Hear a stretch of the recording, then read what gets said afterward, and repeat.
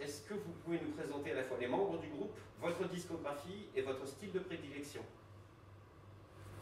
Alors, euh, Black Riversons, ça existe depuis 2016.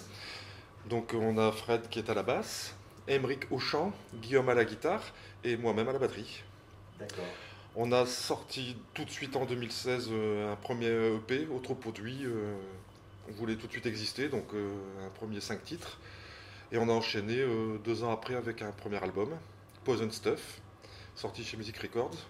Et là, on vient de sortir il y a tout juste un mois euh, notre deuxième album Skins. D'accord. Sur votre site, vous écrivez que le style est aux frontières du blues, du rock et du métal. En effet, dans certains cas, vous êtes plutôt grosse guitare avec un esprit métal, Birds and Beast et No Pain No Gain par exemple. Dans d'autres cas, plutôt rock sudiste. Qu'est-ce qui explique le grand écart? C'est un choix à la base. C'est un choix qui est euh, le, résultat de nos influences et de, nos goûts personnels et de notre parcours également d'auditeurs, parce qu'on est des auditeurs avant d'être des musiciens. Donc euh, le rock sudiste étant euh, un peu notre ADN, c'est un, petit peu, je dirais, la, graine, euh, également le terrain commun, le terreau commun de, ce qu'on aime. Mais le rock sudiste, ça existe depuis maintenant tellement longtemps que d'une certaine façon, on a envie un petit peu de, non pas de l'élargir, ça serait très prétentieux de dire ça, mais euh, la façon dont les groupes de rock sudistes très connus aujourd'hui euh, procèdent, c'est qu'ils n'hésitent pas à mettre également un gros son, euh, de pouvoir sortir des sentiers battus. mais dans l'histoire du rock sudiste, pour moi, le rock sudiste est plutôt, un concept, plus que quelque chose qui est plus qu'un style musical avec vraiment des ornières. Et quand on écoute des groupes comme Goff Mule, par exemple, ou la Brothers, on, est quelque- a des, des, des attraits un petit peu plus fusion. Euh, Lorsqu'on écoute d'autres d'autres groupes, euh, ça va jusqu'au rock, au hard rock, au métal. Et nous, d'une certaine façon, on a envie d'envisager ce, style musical comme aussi comme, un concept qui n'a pas de barrière et on peut essayer d'évoluer euh, dans, le fait d'y ajouter des influences externes, on va dire. Euh, et on est tous influencés, tous les quatre, par des musiques qui sont aussi différentes. C'est la partie non commune, si tu veux.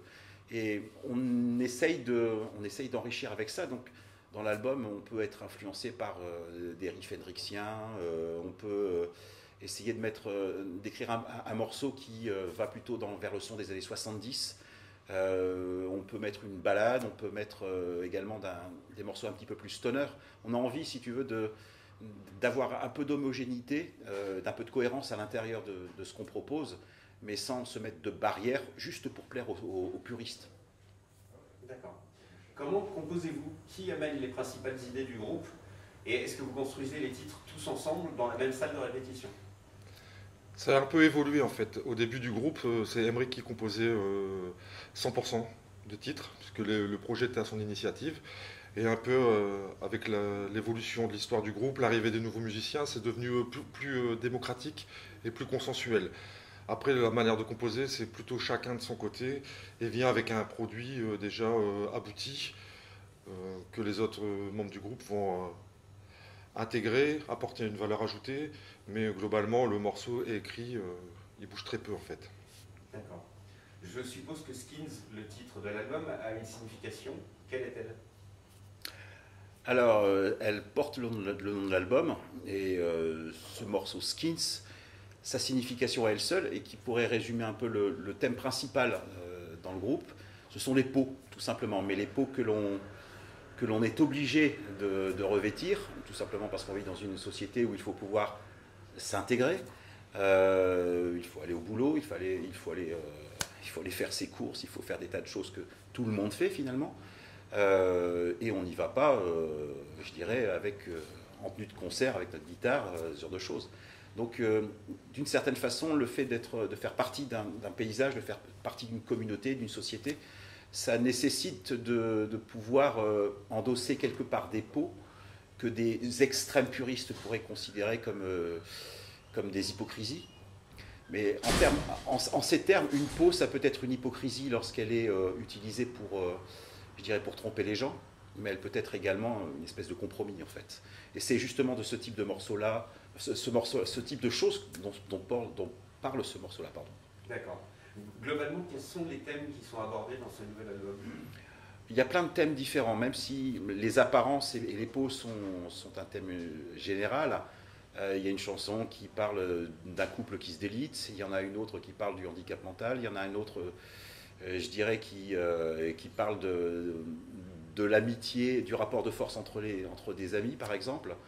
il y en a qui parlent de sujets de société. il y a le morceau Birds and Beast parle clairement du néo-féminisme actuel. Donc, sans être engagé, entre guillemets, on essaye de, on essaye de, d'explorer certains sujets, différents sujets, euh, qui peuvent être euh, très, très, très divers et très éloignés, mais toujours dans, avec un même ton et toujours en, corrélation avec euh, le thème principal. D'accord. J'ai sélectionné quelques titres sur lesquels je, voudrais échanger un peu plus. Le, morceau qu'on a préféré à, la rédaction, c'est Birds and Beast. c'est un titre plutôt à l'esprit métal. Est-ce que vous avez un, un mot sur ce titre en particulier? Alors, c'est un, c'est un morceau qui a la particularité de rentrer tout de suite dedans, de rentrer dans le vif du sujet immédiatement. Il y a deux rythmes différents à l'intérieur, ça c'est des choses qu'on aime bien intégrer, euh, mais c'est un titre qui est, entre guillemets, court, très efficace, et où je pense les, euh, les gens qui l'écoutent euh, auront tout de suite une idée de notre identité, mais de notre identité, de notre proposition actuelle et de toute la couleur de l'album. Donc c'est d'une certaine façon un, un résumé, une approche plutôt direct de, de, notre proposition qui est cet album Skids. D'accord. Il y a une balade assez, assez belle, ma foi, qui rappelle beaucoup Bon Jovi, The Road. Est-ce que vous avez un mot sur ce titre? Ah, Alors, c'est un, morceau qui, est pour moi, qui, a, a été une chance. Je, suis rentré dans le groupe il y a trois ans, donc en cours de route d'une certaine façon, et j'avais proposé l'idée d'une balade acoustique. Et cette euh, balade acoustique, euh, je me suis mise à essayer de l'écrire. Et euh, c'est devenu en quelque sorte une, une, étude, un exercice de style, mais également quelque chose qui est de très personnel, puisque j'ai absolument tout fait. Et ils m'ont donné la chance justement de pouvoir m'exprimer entièrement sur, un, sur ce morceau, puisque j'enregistrais tous les instruments.